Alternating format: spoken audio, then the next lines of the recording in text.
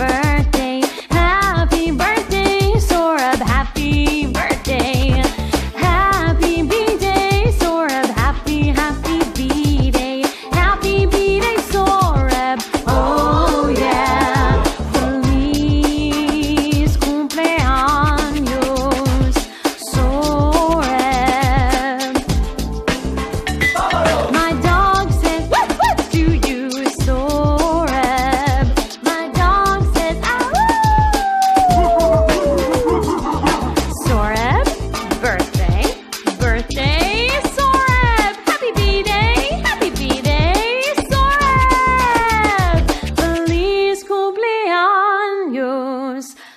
So yeah.